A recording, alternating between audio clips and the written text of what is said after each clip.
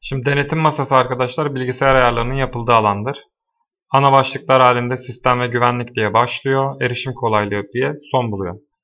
Biz bunları detaylı bir şekilde görmek istiyorsak buradan büyük simgeler yapabiliriz. Simgeler büyük olarak gözükür.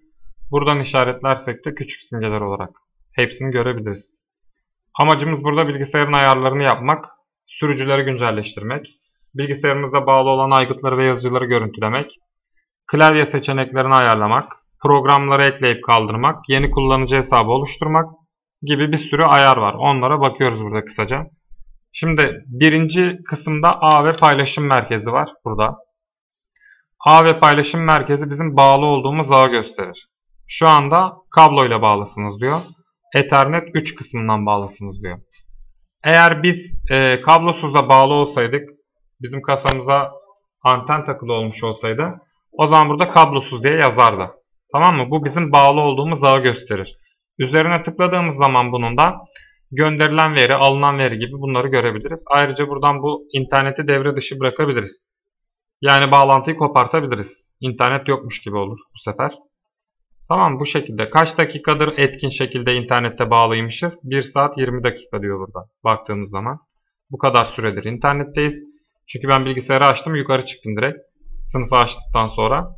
O zaman 1 saat 20 dakika olmuş benim bilgisayarım açılalı. Bu kadar veri alınmış, bu kadar veri gönderilmiş.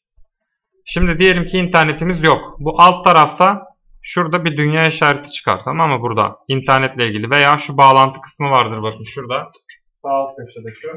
Eğer burada ünlem işareti çıkıyorsa sarı renkli böyle ünlem çıkıyorsa yapmamız gereken birinci işlem denetim masasından A ve paylaşım merkezine girmek buraya. Sonra buradan da sol tarafta bağdaştırıcı ayarlarına girmek.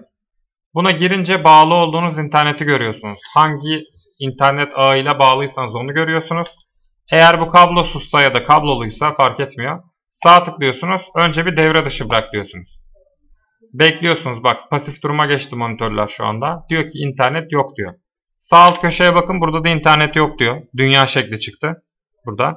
Yanında da imleç var bir tane. Simge var daha doğrusu. İnternet yok diyor. Sonra bunu tekrar sağ tıkladım. Etkinleştir dedim. Bekliyorum. Evet bekliyoruz. İnternete bağlandık tekrar. Bu alt tarafta da bağlandığını gördünüz. Bunu yapabilirsiniz. Ünlem işareti çıkıyorsa. Veya üzerine sağ tıklayıp tanıla da diyebilirsiniz. Tanıla dediğinizde sorun var mı yok mu internet hattınızla ilgili onu belirler. Varsa düzeltmeye çalışır. Yani en önemli birinci kısım bu. A ve paylaşım merkezine girip pencerelerde ilk şunu yapıyorsunuz yani kısaca. Pencereye girdikten sonra sol tarafta önce sekmelere bakıyorsunuz bak. Denetim masasına giriş, bağdaştırıcı ayarları, gelişim paylaşmış, işte gelişmiş paylaşım ayarları diye burada ayarlar var. Önce bunlara bakıyorsunuz. Eğer göremiyorsanız diğer kısımlara bakmaya başlıyorsunuz. Tamam mı? Bu önemli bakın. Ben size sadece en önemli şeyleri anlatacağım. Çıkıyorum şimdi buradan. Aygıt yöneticisi. Aygıt yöneticisi bilgisayarımızda bağlı olan tüm donanımları ve sürücüleri gösterir.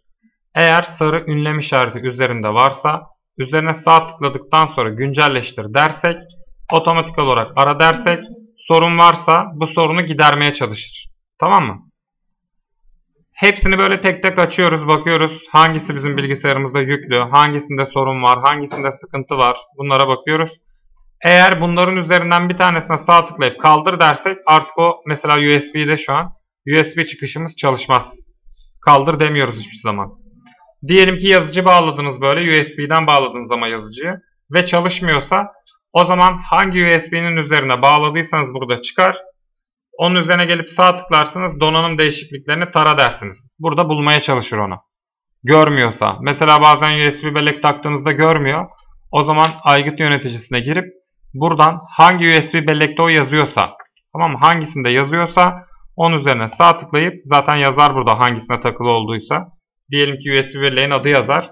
Oradan donanım değişikliklerini tara dersiniz bu kısımdan. Kısaca bu güncelleştirme, donanımları görüntüleme ve donanımları kaldırıp eklemeye yarar burası. Kapattım bunu da. Bilgimiz yoksa bununla ilgili üzerinde bekle sana tanımını zaten gösteriyor. Geldik şimdi aygıtlar ve yazıcılar. Bu aygıtlar ve yazıcılar kısmı bilgisayarımızda neler bağlıysa onu gösterir. Diyelim ki tarayıcı mı bağlı, yazıcı mı bağlı, ne bağlı bunları gösterir bize. Mesela şu anda benim yazıcım kapalı durumda. Hemen açıyorum bakalım şimdi. Şu an pasif durumda bakın. Hemen düğmesine bastığım anda buradan açılınca aktif duruma geldi bakın. Değil mi? Yandı otomatik olarak. Demek ki benim yazıcım bu. Üzerinde de yeşil tik var. Varsayılan olarak kullanılan yazıcım bu. Eğer buradaki tarayıcıyı da bağlamış olsaydım bunu. Çünkü bu yukarıdaki tarayıcı, bu aşağıdaki yazıcı. O zaman burada tarayıcım da çalışmış olacaktı bu kısımda. Onu da görmüş olacaktım. Ama şu anda bu aktif değil bakın burada. Pasif durumda. O zaman onu kullanamıyorum şu anda çünkü kapalı. Tekrar bunu kapattığımız zaman kapattığımız zaman tekrar pasif duruma geçti bakın. Ama yeşil tik, tik olduğu için de ne oldu? Ee, yani bizim varsayılan yazıcımız bu. Çıktı aldığımızda biz bunu kullanıyoruz demektir. Veya siz diyelim ki tarayıcıdan taratacaksınız bir belgeyi. O zaman burada tarayıcıya gireceksiniz. Burada tara çıkacak bu pencerede. Burası şu an yazdırma penceresi ama tara kısmı çıkar. Ya da hiçbir bilginiz yoksa arama çubuğuna tara yazıyorsunuz arkadaşlar. Burada Windows Fax taramaya girebilirsiniz ya da yazıcılar ve tarayıcılara gire, girebilirsiniz bu kısma. Dediğiniz zaman direkt tarama kısmı çıkıyor. Fotokopi çeker gibi tara dediğinizde otomatik olarak belge geçiyor. Tamam bu şekilde. Bunu da böyle bakabiliriz. Hatta bir deneyelim bakalım. Bunu bir açalım. Bir deneyelim. İçinde var mı bir şeyler var. Bak şimdi tarayıcıyı açtık. Şimdi burada aktif olarak görmemiz lazım onu. Eğer bağlantısı varsa sökmedilerse kablosunu. Bir yazalım tekrar tara diye. Hemen girelim Windows taramaya. Yeni tarama diyoruz buradan. Bak hala algılamadı. Burada. Demek ki bunun kablosu çıkık şu anda. Arkadan çıkartmış olabilirler. Yani biz kısaca buradan yeni tarama diyoruz arkadaşlar. Burada taranınca da fotoğraflar buraya geliyor. Buradan da istediğimiz şekilde alabiliriz bunu. Tarama bu kadar kolay yani. Taramak istediğin belgeyi içine koyuyorsun. Fotokopi makinesi gibi. Arama kısmına tara yazıyorsun. Buraya. Daha yeni algılamaya başladı. Tara diyorsun. Yeni tarama diyorsun. Algıladıysa eğer. Yeni tarama dedikten sonra fotoğrafı direkt burayı e, tarıyor ve algılıyor. Sonrasında da bu fotoğrafı kullanabiliyorsun istediğin yerde. Tamam mı? Ama dediğim gibi bağlantının olması gerekiyor. Bu şekilde. Başka neyi görebiliriz? Monitörü görebiliriz. Monitörle ilgili mesela sağ tıklarsak üzerine farenin görüntü ayarlarına girersek bunun görüntü ayarlarını yapabiliriz. Gece ışığını açıp kapatabiliriz. Düzeni ayarlayabiliriz. Çözünürlüğü ayarlayabiliriz bakın. Ekran yönü yatay mı dikey mi? Her zaman ekran yatay olacak diye bir durum yok. Bunu dikey de ayarlayabiliriz. Tekrar geldim geriye. Mikrofonla ilgili ayarlar. Burada. Üzerine tıkladığımızda mikrofonun özelliklerini bize gösterir. Donanım özelliklerini bize gösterir. Mikrofonla ilgili ayarı buradan yapamayız ama. Yine hoparlörlerle ilgili ayarlar var. Donanımların çalışıp çalışmadığını görüyoruz buradan. Bu kısımdan. Yine fareyle ilgili olan kısma girebiliriz. Çalışıp çalışmadığını görebiliriz. Yüklü olup olmadığını görebiliriz. Yine klavye aynı şekilde. Bu alt taraftakiler de ağımızda bağlı olan diğer bilgisayarları gösteriyor. Mesela Esra bilgisayarı yazıyor burada. Bu muhtemelen yan sınıfta birisi laptop açmış. Onun laptopu olabilir bu. Tamam mı? Onları görebiliyoruz kısaca. Eğer bunlar farkında olmadan bir şeyleri paylaştılarsa biz bunların içine girip ağ bağlantılarından içeriklerini görebiliriz. Buradan sadece açık olanları görebiliyoruz. Böyle. Şimdi tekrar gelelim denetim masasına. Atlıyorum buraya bizim için önemli değil. Bölgeye geldim.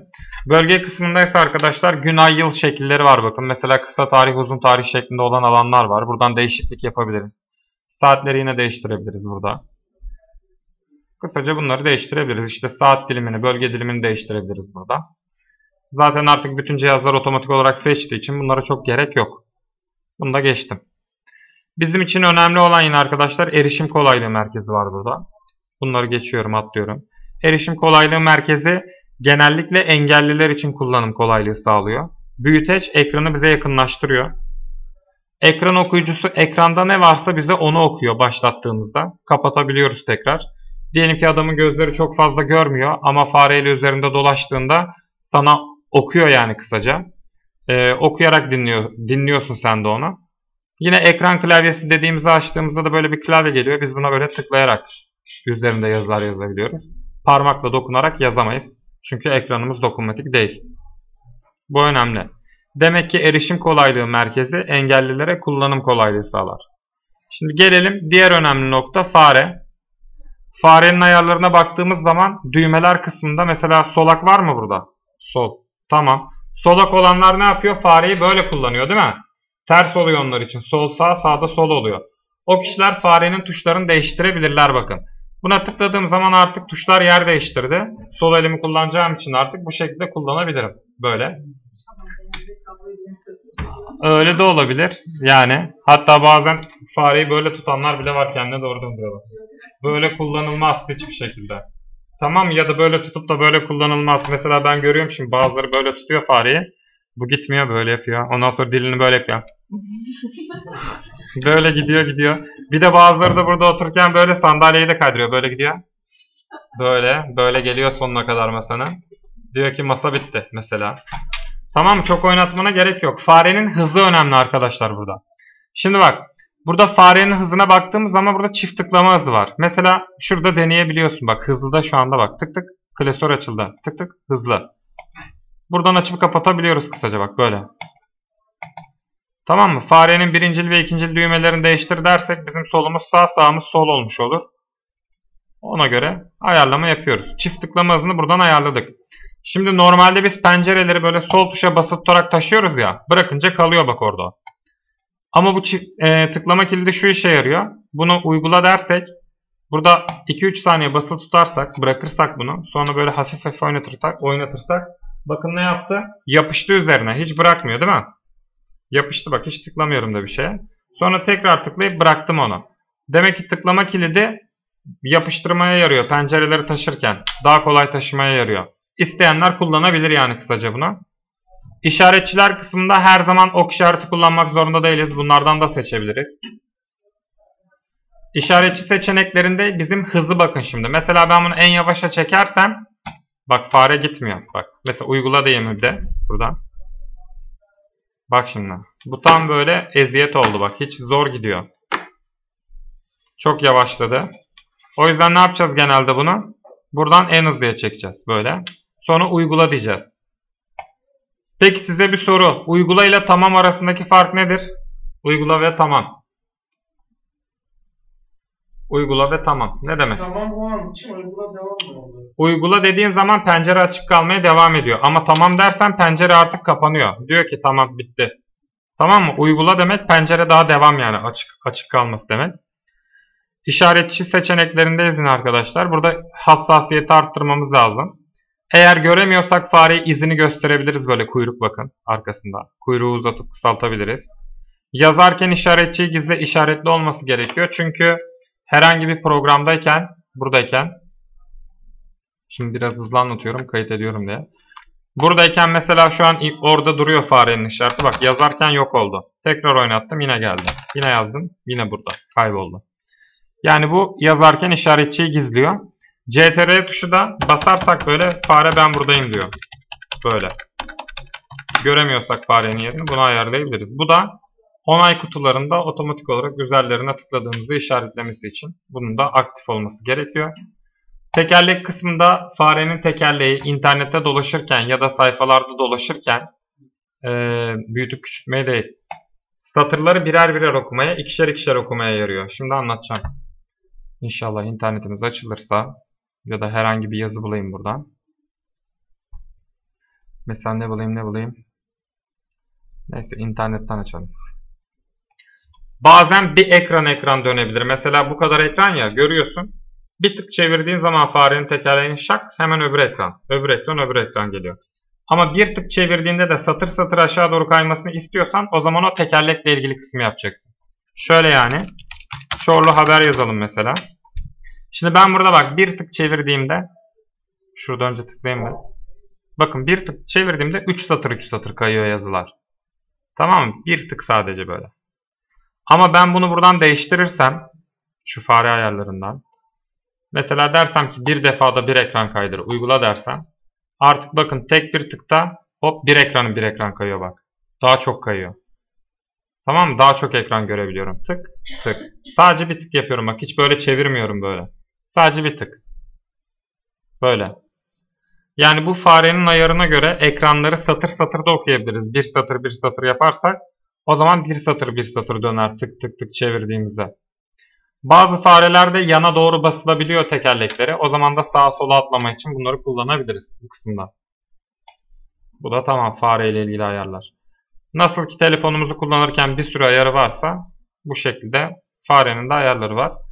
Flash Player demek internette dolaşırken bazı görseller ve videolar sizde çalışmıyorsa Flash Player yüklemeniz gerekiyor demektir bu. Bunu da bitine göre yüklemeniz gerekiyor. Mesela bu 32 bit yazıyor. Sizin bilgisayarınız 64 bitlikse 64 bit Flash Player yükle diyebilirsiniz. Bunu da Google'dan indirebilirsiniz arkadaşlar. Ama en çok virüs bunlardan geliyor. Aynen onlardan geliyor. Flash Player'ı indir diyeceksiniz buradan. İndirdikten sonra bilgisayarınıza yükleyeceksiniz. Videolarınız takılma yapıyorsa, donma yapıyorsa, yavaş çıkıyorsa Flash Player indirmeniz gerekiyor kısaca. Olacağı nasıl? Yani virüs olmayan sitelerden indireceksiniz. Genelde de virüs olmayan e, site diyecek olursak da Get Into PC diye bir site var. Burada istediğiniz bütün programları bulabilirsiniz burada. Mesela Office programı arıyorsun diyelim ki. Office yaz buraya ara. Burada bir sürü Office programı var. Ya da aklına ne gelirse bak yüzlerce sayfası var burada devam ediyor. 3 boyutlu çizim programları istiyorsan, grafik tasarım programları istiyorsan yine bunları indirebilirsin bu siteden. Şimdi yine diğer alanda arkadaşlar görev çubuğu ve gezinti alanı var. Buna zaten biz başlat kısmından da girebiliyorduk. Ama buradan da yine girebiliriz ayarlarına. Görev çubuğunu kilitlemek. Görev çubuğunun üzerine sağ tıkladıktan sonra da aynı yere gelebiliyorduk. Görev çubuğunu otomatik olarak gizleyebiliriz. Aşağıdaki çubuğumuzun adı görev çubuğuydu. Kısaca görev çubuğu ile ilgili olan bütün ayarları buradan yapabiliriz.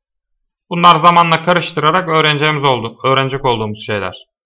Tamam mı? Çünkü en alttaki çubuğumuzun adı görev çubuğu. Görev çubuğu ile ilgili bir sorununuz varsa ya bunun üzerine sağ tıklayıp buradan girersiniz ya da denetim masasının üzerinden görev çubuğu ve gezinti alanına girerek ayarlarına bakabilirsiniz. Güç seçenekleri kısmına gelelim. Güç seçenekleri kısmında laptop kullanıyorsanız ya da masaüstü fark etmez. Burada plan oluşturabilirsiniz. Plan ayarlarına girdiğimizde mesela ekranı kapat 10 dakika sonra diyor. Ben hiç dokunmadan bıraksam 10 dakika sonra ekran kapanır. Hemen buradan ben bunu değiştirdim. Veya sol taraftan kendiniz ayarlayabilirsiniz. Bakın yine sol tarafta. Mesela güç düğmesine basmak diyor.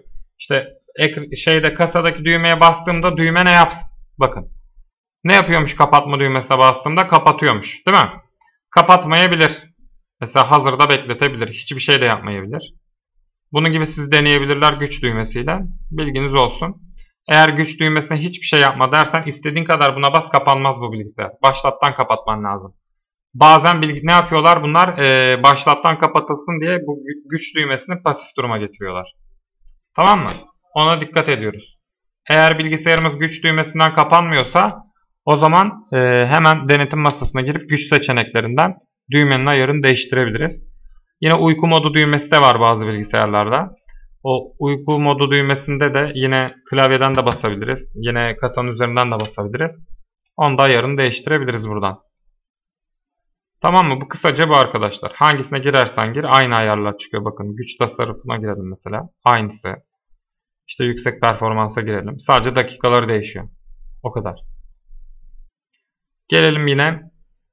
Bakalım. İnternet seçeneklerini sonra anlatacağız. Klavye kısmına geldik. Klavye kısmında şimdi yine burada denemek için bize alan bırakmışlar bakın bu bölümde.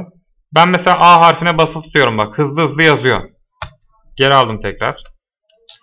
Burada yineleme gecikmesi ve yineleme hızları var. Mesela ben bu hızı yavaşlatırsam A harfine basılı tutarsam bakın takılarak gitmeye başladı. Yani yavaş ya da hızlı gitmesini istiyorsak buradan ayarlayabiliriz.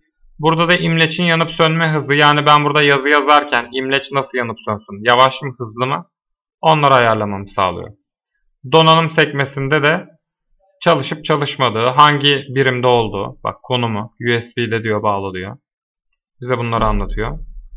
Konuşma tanıma kısmı yine mikrofonla ilgili eğer konuşma tanımayı aktif hale getirirsek bunu kullanabiliriz. Şu an bize olmadığı için geri alıyorum. Kullanıcı hesapları bir bilgisayarı birden fazla kişi kullanabilir. Şu anda benim bilgisayarımda tek bir hesap var. Bu hesabın adını değiştirebilirim. Buradan yeni bir hesap adı oluşturabilirim. Buna e, şifre ekleyebilirim. Bakın parola korumalı yazıyor. Şurada ayarlarına girersem. Yine buradan bilgilerimi değiştirebilirim. Yine kendi resmimle açılış sağlayabilirim. Kendi yüzümle açılış sağlayabilirim. Aktif bir durumdaysa tabii ki Windows programım benim. Güncelse. Bunları sağlayabilirim kısaca. Veya başka bir hesabı yönetin dediğinde yeni oturumlar açabilirim. Bakın yeni kullanıcı ekle diyor. Bir tane ekleyelim şimdi. Mesela buradan adını yazdıktan sonra mail adresini girdikten sonra o zaman ne oluyor arkadaşlar? Oturum açabiliyoruz. Benim açtığım kısımdaki yani açtığım alandaki ilk bilgisayar açılırken çıkıyor ya kullanıcı adı. İki tane kullanıcı adı çıkıyor. Eğer ben kendi olanıma tıklarsam kendi dosyalarımı görebilirim. Diğer kişininkilere tıklarsam onun dosyalarını görebilirim. Yani birkaç kişi tek bilgisayarı kullanıyorsanız kullanıcı hesabı oluşturabilirsiniz. Şimdi eklemek, silmek burada uzun sürer. O yüzden buna girmiyorum. Geri geldim.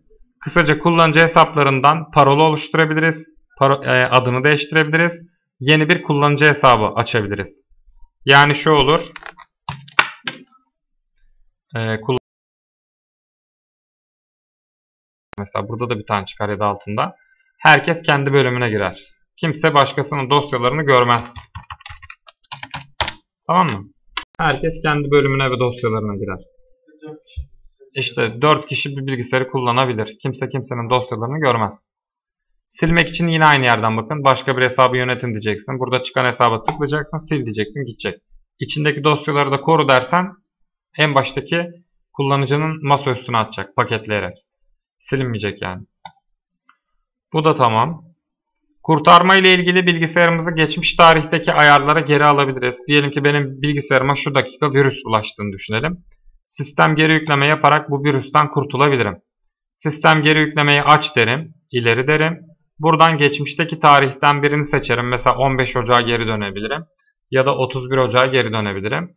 Bunları seçtikten sonra benim yüklemiş olduğum programlar silinir ama dosyalarım silinmez. Mesela 15 Ocak'tan bugüne kadar yüklediysen bir dosya ya da şey e, program daha doğrusu yüklediysen programlar silinir. Fotoğraflarım, videolarım, müziklerim silinmez. Bunları şey olarak da arayabiliriz bakın. Mesela bilgisayarına virüs bulaştı ya illa denetim masasına gitmene de gerek yok. Sistem geri yükle yaz buraya. Sistem geri yükle. Çıkar kurtarma seçenekleri. Ya da hata denetle vardı geçen hafta değil mi? Mesela hata denetle yaz. Ya da disk temizle yaz. Disk temizle.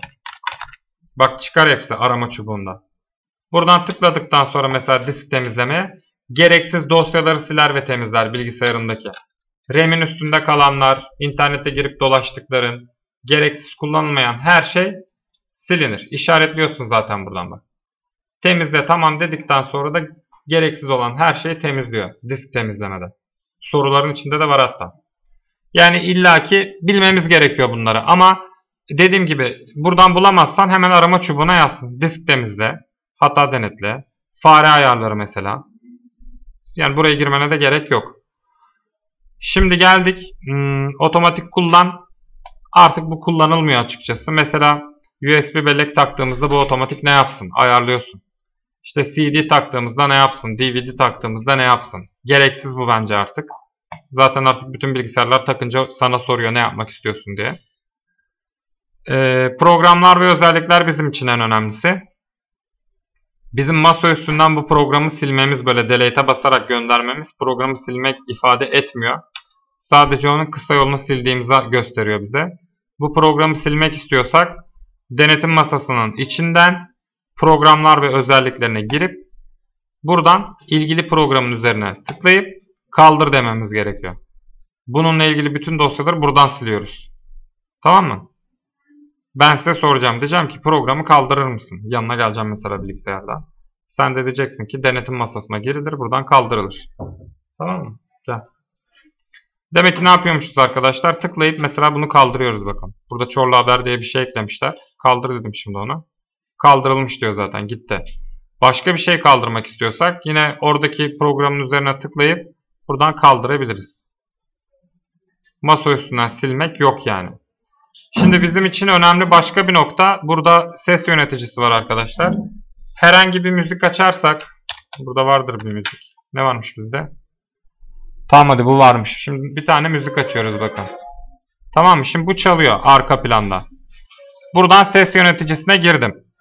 Ses yöneticisinde bak şimdi. Ses yöneticisinde öncelikle burada hoparlörlerin e, çalışmasını deneyebiliriz bakın. Mesela hangisi çalışıyor? Bak arkadaki çalışıyor. Bu yok. Bu da yok bende doğal olarak. Bunlar da yok zaten. O zaman benim sol hoparlörüm buradaki mi oradaki mi öttü. Buna basınca da arkadaki öttü. Tamam mı? Bir de o köşede var. Ama o duyulmuyor çok fazla. Buradan bakabiliriz hoparlörlere.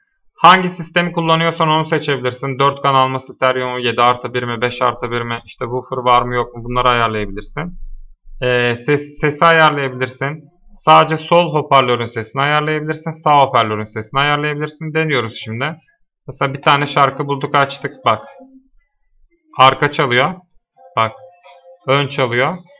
Sıfıra aldığımızda ne yaptı? Tam burası çalıyor. Değil mi? Demek ki o zaman e, sol sağ sesleri ayarlayabiliriz buradan. Yine başka bir şey. Burada yapılandırmaya atladık. Ses efekti var arkadaşlar. Şimdi ses efektinde de herhangi bir müzik ya da şarkı çalarken bak şimdi. Mesela burada efektler var. Bak. Mesela hangar var. işte mağara var. Farklı farklı yankılı böyle efektler var. Burada inceltebilirsin, kalınlaştırabilirsin, yavaşlatabilirsin kısaca buradaki ayarlarla. Tamam mı? İzlediğiniz, dinlediğiniz şeye göre değiştirebilirsiniz. Bakın burada bir sürü var. İşte pop mu, canlı mı, rock mı ne istiyorsan yapabilirsin. Değiştirebilirsin. Bunların e, aktif halde çalışabilmesi için yeşil olan jaka takılması gerekiyor. Mesela şu an bende mikrofon var. Değil mi? Mikrofonla ilgili ayarlar da var. Şu an benimki önde takılı olduğu için şu an görmüyor. Ama mikrofonla ilgili olanları da şuradan bakabiliriz bakın. Buradan. Mikrofonla ilgili olarak da mesela diyelim ki fanın sesini alsın mı almasın mı? Gürültüyü tutsun mu? Eko yapsın mı yapmasın mı? Ya da mikrofonun ses düzeyi ne kadar olsun? Çok uzaktan çeksin mi? Mesela bak. Böyle ben uzaklaştıkça buradan hala almasını istiyorsan mesela arttırdın. Bak duyuyorsun şu an sesini değil mi? Buradan iyice dibine girdiğin zaman daha çok sesini almış oluyor mesela. Buradan mikrofon desteğini arttırıyorsun bu kısımdan. Bunlar önemli. Herhangi bir yerde kayıt yaparken mesela ben şu an ne yapıyorum? Ekran kaydı alıyorum bak bu programla. Hem sesi alıyor hem de buradaki görüntüyü alıyor. Benim tıkladığım yerleri al alıyor. Eğer mikrofon yoksa bunu yapamayız tabii ki. Laptopunuzda da hem fan çalıştığı için hem de işte tuşlara bastığınız için tuş sesini almasın diye muhakkak ki gürültü tutma aktif olmalı. Burada da akustik eko diyor. Yankı yapmasın mesela. Onu da ayarlayabilirsin buradan. Mikrofondan. Kısaca bu yukarıdaki sekmelerden ayarları yapabiliyorsun. Buradan da efektler uygulayabiliyorsun bu bölümden. Tamam mı? Sesle ilgili bunlar var. Bu genelde her bilgisayarda olur. Denetim masasından ses yöneticisine girersek bunları görebiliriz. Bizim için önemli olan başka bir şey daha. Ee, sorun giderme kısmı. Eğer sorun varsa bilgisayarımızda mesela programlarla mı, donanımla mı, AV internetle mi neyle ilgili sorunuz varsa onu tıklıyorsunuz. Diyelim ki donanımla ilgili tıkladık üzerine. Ne ile ilgili var? Yazıcı ile ilgili mesela. Tıkladım. İleri dedim. O sorunları bulmaya çalışıyor. Varsa sorun düzeltmeye çalışıyor. Ne ile ilgili sorununuz varsa sorun gidermeye girebilirsiniz kısaca. Başka bizim için önemli olan nokta tarih ve saat ayarları. Buradan şöyle bir durumla karşılaşabiliriz. Mesela ben şimdi internette Çorlu Haber diye aradım. Değil mi biraz önce? Çorlu Haber. Şimdi buna tıkladım bakın. Tıklayınca ne kadar sürede açıyor? Çabuk açıyor. Değil mi? Eğer ki geç açıyorsa bizim internet saatimizle bilgisayar saatimiz birbirine uymuyor demektir. O zaman internet saati kısmına girip buradan başka bir sonucuyu seçmemiz gerekiyor. Tamam dedik tekrar. Şimdi bir kere daha deneyelim mesela. Yine yazıyorum Çorlu Haber diye. Yine tıklıyorum. Bak daha geç giriyor. Tamam mı? Çünkü internet saatiyle bilgisayar saati birbirini tutmuyor. Demek ki o zaman hangi sonucu seçmem gerekiyormuş benim? İlk baştakine. Hızlı olanı. Yani şunu seçmem gerekiyormuş. Demek ki internetiniz yavaş giriyorsa yapmanız gereken işlemlerden birisi bu. Ee, tarih ve saate girip internet saatini değiştirmeniz sunucusunu buradan ayarları değiştir. Sunucuyu değiştiriyorsun. Tamam mı? Bunu bu şekilde algılayabiliriz kısaca. Bizim için önemli olan diğer nokta güvenlik duvarı arkadaşlar. Güvenlik duvarımızın her zaman açık olması gerekiyor. Kapatmak istiyorsak devre dışı bırak deyip buradan kapatabiliriz. Ama virüslere ve korumaya kapalı hale getirmiş oluruz. Virüs bulaşabilir daha doğrusu. O yüzden güvenlik duvarını çok fazla kapatmıyoruz. Sadece bazı programları yüklerken kapatmamız gerekebilir. Bir daha kapatmıyoruz. Windows telefonda bir işe yarıyor mu? Yaramıyor, yakalamıyor açıkçası. Evet. Yaramıyor.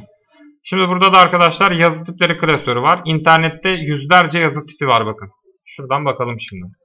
Yazı fontu da denir buna. Şimdi yazı fontlarını indirebiliyoruz biz.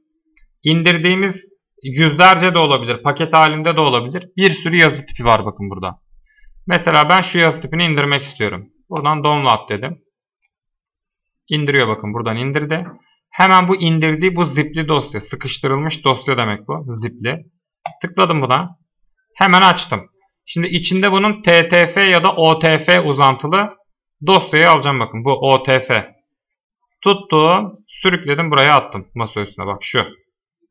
Şimdi iki şekilde yapabilirim. Böyle tek tek yüklüyorsam üzerine iki kere tıklayıp yükle yapabilirim.